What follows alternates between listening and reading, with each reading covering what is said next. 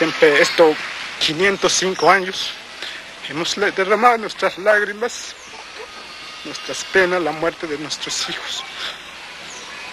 Y entonces yo por, la muerte de mis antepasados lloro y desgracia en nuestra vida no todos lo sentimos nuestra necesidad.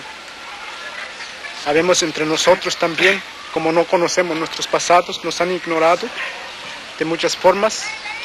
Entonces, pues a unos que estamos pues perdidos en el mundo, no sabemos dónde venimos, dónde estamos y a dónde vamos.